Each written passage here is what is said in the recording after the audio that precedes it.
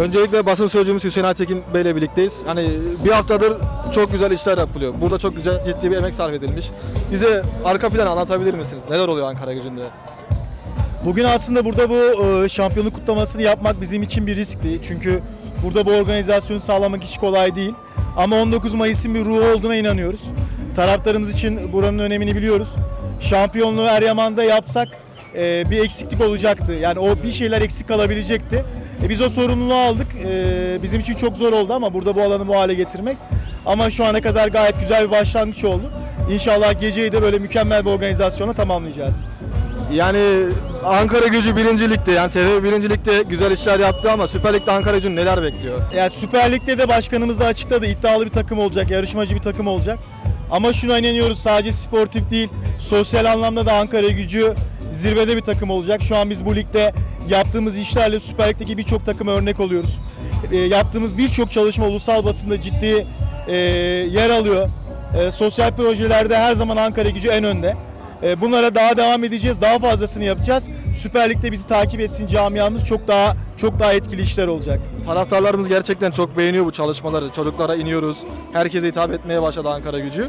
Yani Süper Lig'de bu işlerin devam edeceğini net bir şekilde söyleyebiliyor muyuz? Tabii tabii kesinlikle. Yani bakın biz buna çocuklarla, miniklerle başladık, gençlerle devam ettik.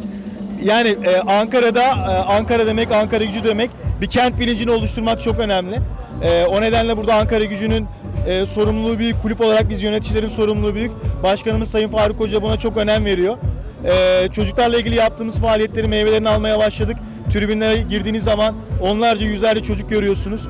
E, çünkü şöyle bir şey var. Siz bir çocuğa ilk kim hangi formayı hediye ederse babasının hangi takım tuttuğu önemli değil. İlk forması onun takımı olur. Biz onu bildiğimiz için işte harf tabloları yaptık, boyama kitabı yaptık. Ankara gücünün renkleriyle, armalarıyla çocuklarımızı, miniklerimizi tanıştırdık. Bunların daha uzun vadede çok ciddi biz karşılığını alacağız ama kısa vadede de çok ciddi etkisini görmeye başladık. Camiamız bu konuda bize güvensin. Ankara gücü çok kabuk değiştiriyor. Çok farklı bir noktaya gidiyor. Zaten onlar da bunu takdir ediyor. Ee, sağ olsunlar her zaman destekçimiz. Başkanımız da projelere çok destek veriyor maddi manevi. Ee, Süper Lig'de çok daha ciddi işler olacak. Yani Ankara gücü sosyal anlamda e, ne gerekiyorsa her projenin içinde olacak, öncü olacak, farkındalık yaratacak. Ama bunun yanında tabii ki bu sezon olduğu gibi sportif anlamda da Süper Lig'de iddialı bir takım olacak.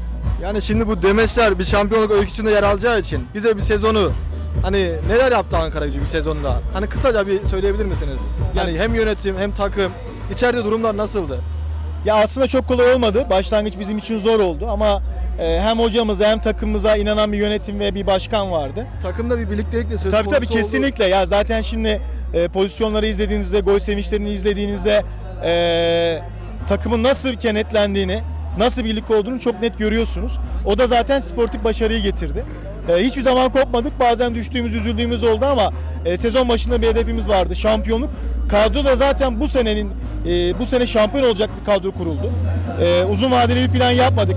Hedefimiz çünkü Ankara Gücü camiası büyük bir camia. Bir sene, iki sene, üç sene TFF'de belli bir hazırlanmanın yapılanmayı bekleyecek bir camia değil. Sabırsız bir camia. Biz de ona göre e, planlamamızı, kadromuzu yaptık ve e, Allah'a şükür e, şampiyon olduk. Ama bunun yanında zaten yaptığımız projeleri de tüm hem Türkiye hem camiamız çok yakından takip etti, takdir etti. Onları burada bir kez daha anlatmaya gerek yok. Onlar zaten devam edecek, gelişerek daha geniş kitlelere ulaşacak e, icraatlar yapacağız. Bu- Bunu da ben buradan tekrardan camiamıza söz veriyorum. Son olarak taraftara ne söylemek istersiniz taraftarlarımıza? Taraftarımız takımımıza güvensin, futbolcularımıza güvensin, hocamıza güvensin. Ee, ve bugün burada ee, bu mutluluğu, heyecanın tadını çıkarsın, keyif alsın. Merak etmesinler. Çok güzel bir kadro kuruluyor. Çok önemli futbolcularla görüşülüyor. Ee, onlar da onları da çok iddialı açıklayacağız. Onlarla ilgili çalışmalarımız var. Meraklandık. evet. Keyif herkes e, keyfini yaşasın. Bizi izlesinler. Ankara Gücü çünkü yıllardır bu taraftar ee, çok güzel şeyler asla hak ediyor ama bunları çok yaşama şansı olmadı.